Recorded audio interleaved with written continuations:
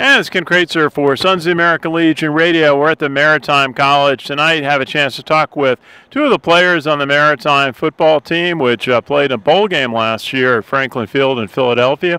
And I'm just going to ask them to introduce themselves. First, we have a junior. Is that correct? Sophomore.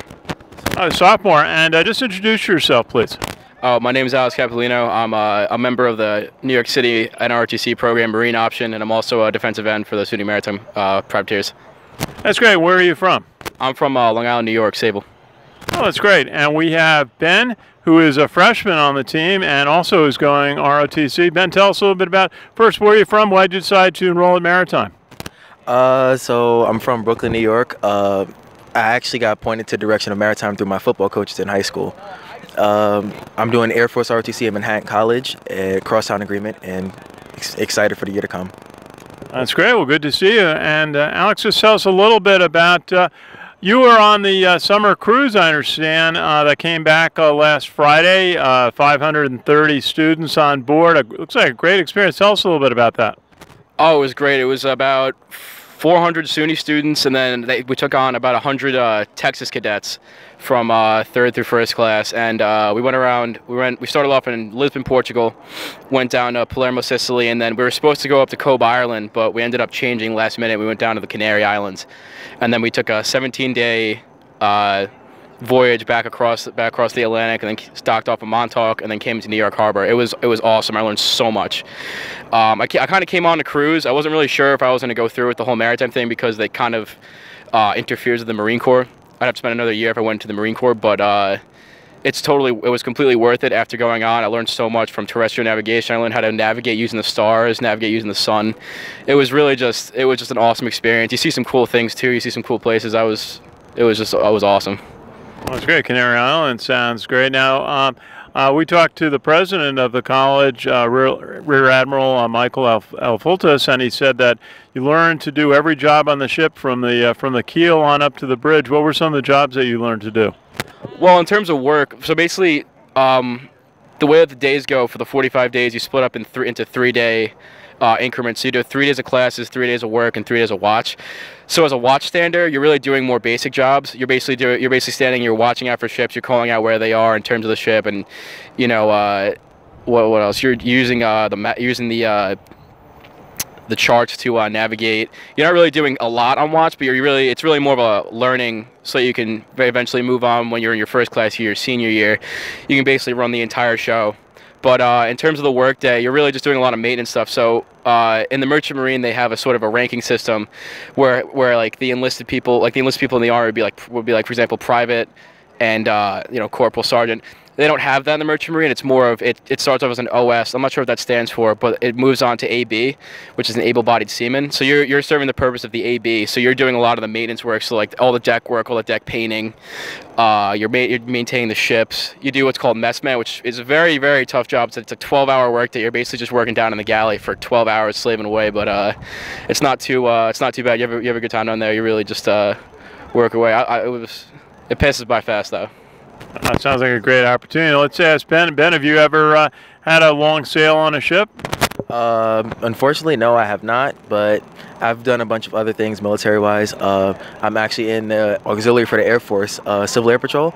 We just got incorporated as a total force for the Air Force, and the great opportunities that they give me with air power and aerospace education. Attending maritime also gives me uh, knowledge for sea power and stuff, so I get to learn more navigation and do things that other, I guess, aerospace education and air power wouldn't exactly teach me.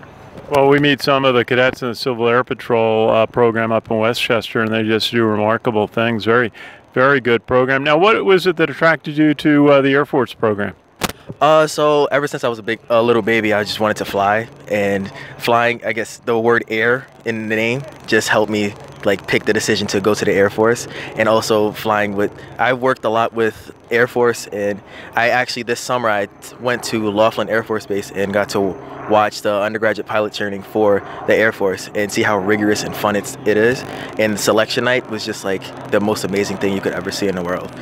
And I just can't wait for it to happen. Well, you got you got a process. There's some guys in the army I know will tell you that you haven't lived until you've flown an Apache helicopter, but uh, that's neat. Uh, that's neat. Now, what is your role on the football team? What position do you hope to play? Um, right now, I'm currently playing wide receiver and also special teams. So. That's great. What high school did you go to? Uh, Fort Hamilton High School.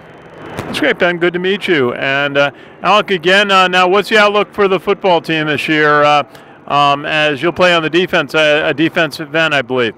Yes, sir. So our uh, our defense is looking very good. We returned most of our starters. You know, it was huge. We brought back Kendall Parker for a fifth year.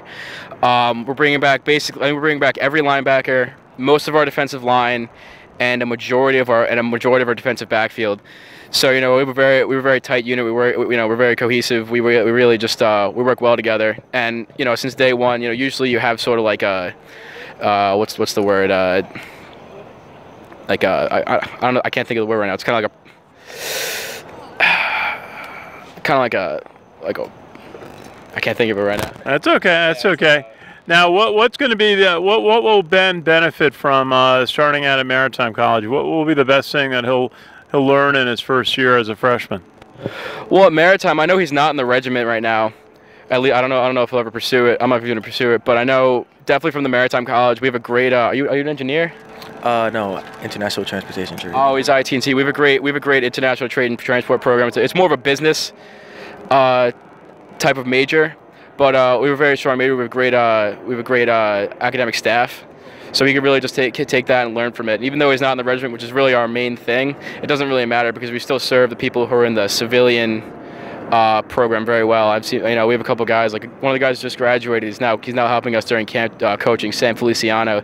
I saw he grad. I see uh, he's graduated and he's doing pretty well right now. So, you know, I mean, I haven't seen much of it. I haven't seen much of it because there's not a lot of civilians here because it's supposed to be a maritime school. But they're they're all doing pretty well. So it's it's a good it's a good path to take. What are you looking forward to this season in football? Uh, I'm actually looking forward to the Kings Point game. I'm really looking forward to that. I know last year I got in, I got in a decent amount. I got in about 20 plays, and it was it was intense. It was a great game. We ended up winning 20 to 16, like a last minute. Uh, Brian Price, uh, he was a quarterback, cornerback. He just graduated. Uh, picked a ball, picked the ball off the end of the game, but uh, it was that was probably one of the best football games I've ever played in. Well, that's neat. I know it's a big rivalry, and uh, also your rivalry with Mass Maritime is pretty big too.